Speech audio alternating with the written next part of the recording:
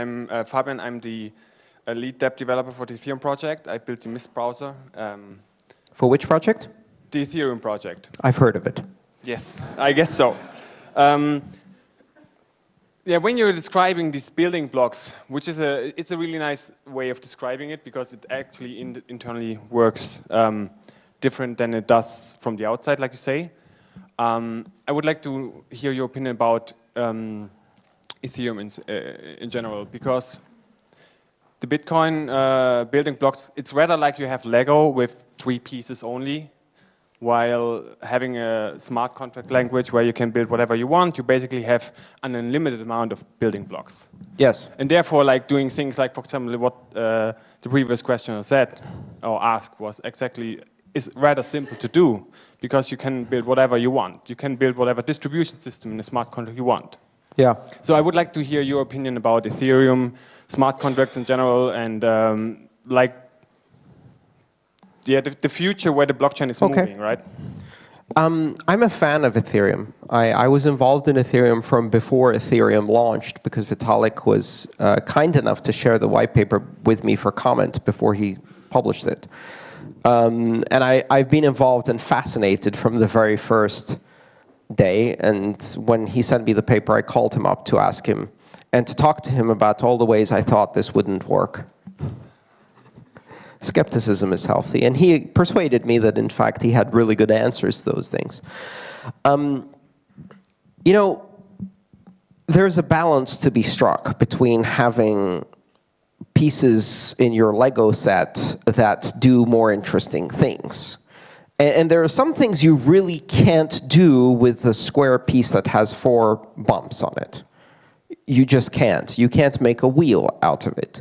You can't make a head of a little person out of it.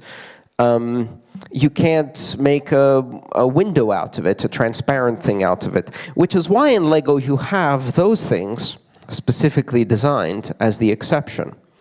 But if you've ever gone to one of these exhibitions, you've probably seen them make entire buildings, the, the Death Star, um, the Star Trek Enterprise, the Empire State Building, out of just simply different colored four square blocks.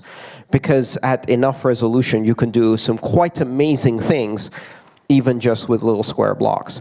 There's a place for both, and I think those two technologies work really well together. Bitcoin, because it's more limited, um, on purpose, quite, quite honestly, is designed to deliver a very solid, very wide foundation um, that has very, very robust security. Which is why, even though Ethereum is one sixth of the capitalization, it's one 250,000th of the security power uh, in terms of the hashing uh, power that goes behind it.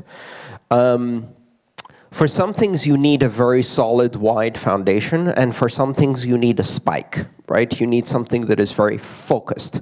And the two work very good together. Uh, in fact, I think Ethereum can use some of the underlying security in Bitcoin to become even more robust itself.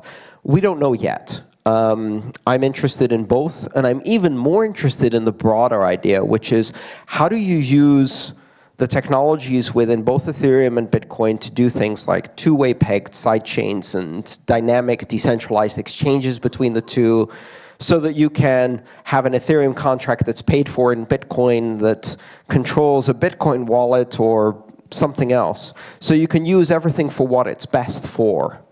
Um, and they can work synergistically. The best part about Ethereum for me was that two years ago when we had a crisis in Bitcoin, people were like, Mt. Gox exploded, oh my God, we're going to lose all our money. So they sold Bitcoin and went into fiat. And this year they're like, oh, Mike Hearn blew everything up.